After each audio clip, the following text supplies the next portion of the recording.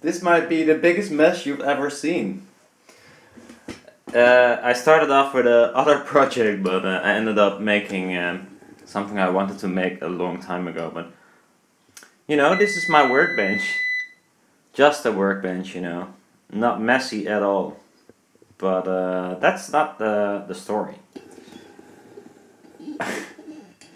really, if I'm when I'm busy, I cannot like keep it clean. Because far often I just want to test something real quick. Real quick is the thing that makes me uh, make such a mess. Because I can clean it and it works nicer, I know, but far often it's just I want to see if this works uh, and I'll make another one if it if it does. For instance, this is one of the older um, panels I made in a video, I think, with the, with the popsicle sticks.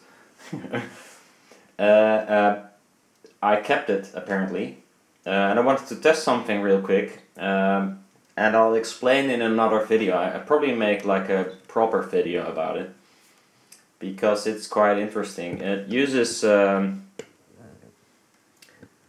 two step-up uh, voltage voltage step up uh, thingies, Cockcroft Walton multipliers, which is not completely true because it's not multiplying it actually. It is just adding the same voltage. Mm, no, that's not true either, but it's not a multiplier. It's not actually multiplying. Um, I think I could even put more out of this I use a Class D amplifier to um, amplify the whole thing. I use a uh, this should not be there or it's not needed. Uh, a very big transformer 1 to 120 but uh, the goal is actually to make it possible to use cheap transformers with not too high step up ratio for this purpose because I only want to make a tweeter and I'll explain maybe later on uh, because ESLs do sound the best in the end. But this is something different of course because otherwise it wouldn't be interesting.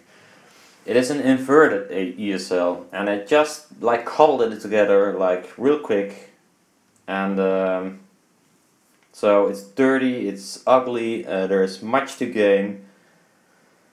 Uh, I'm still not completely sure out, uh, about how it works. I mean, I've tried stuff uh, that is from the patents and such and it worked kind of shitty. So I had to adjust some things and it worked better. For instance, there are normally uh, resistors in series with uh, the high voltage, like 10 meg. But it's not working for me. It's like whole, all my efficiency is gone. So either um, the adapter there that feeds the whole thing is not capable of delivering the amount of current. Uh, I don't know, might be true.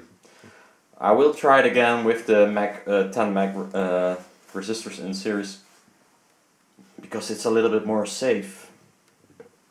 Not that you die from this, but it's a very unpleasant shock, I can uh, tell you that. Also, um, I'm feeding it 12 volts. And this one is uh, stepping it up uh, to 700 volts.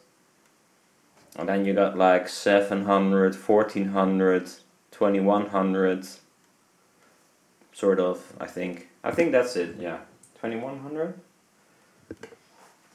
I might want to go a little bit higher than that. Well, we'll see. Anyhow, I'm not even sure if it reaches uh, 2100 because um, this adapter is not it's not very powerful. It doesn't have to supply much, but um, I don't know. We'll see. But uh, it plays and it crackles as well because it's completely cobbled together, very ugly, very, very, very ugly. But uh, it's it's what I had like complete. I just added some low resistance coating on the foil so I could use it as an inverted ESL. Uh, let me see.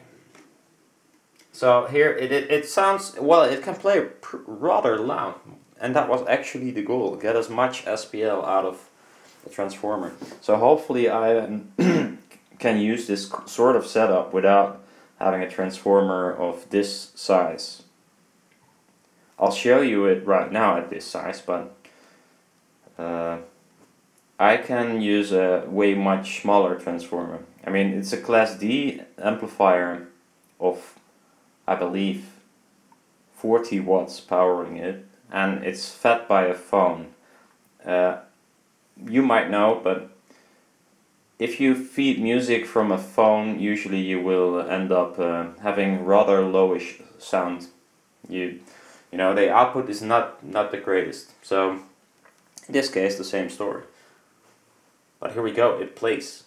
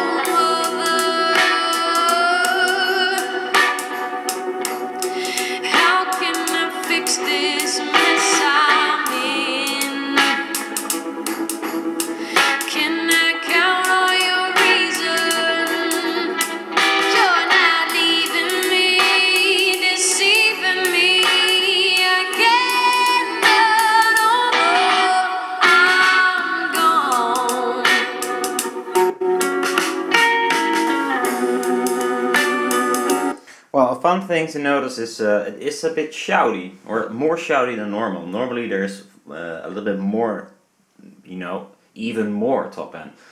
And I think it's uh, because I feed the audio signal to the membrane in this case.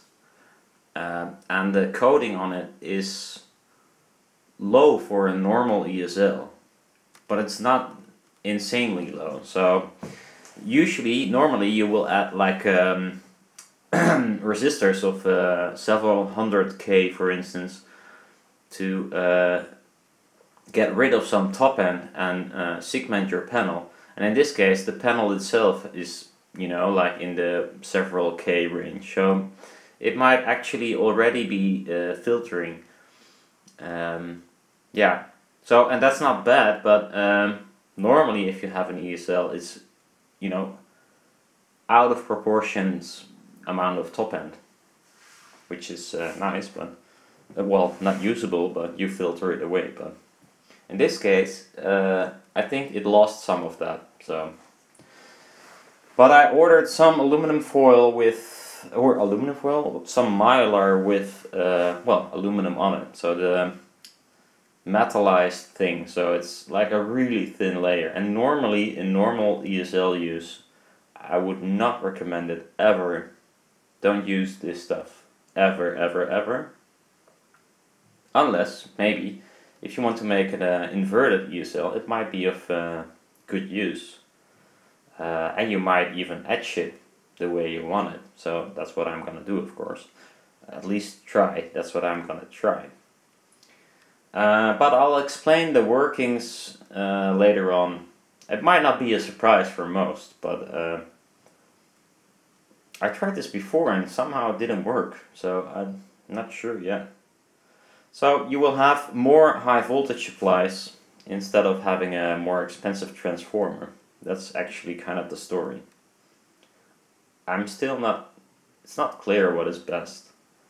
But it has some benefits. Yeah. You should be able to get away with a cheaper transformer. You could also make it a little bit more safe for the user because you cannot reach the membrane which has the lethal high voltage. I mean the high voltage high voltage from this thing is not nice but it's not lethal.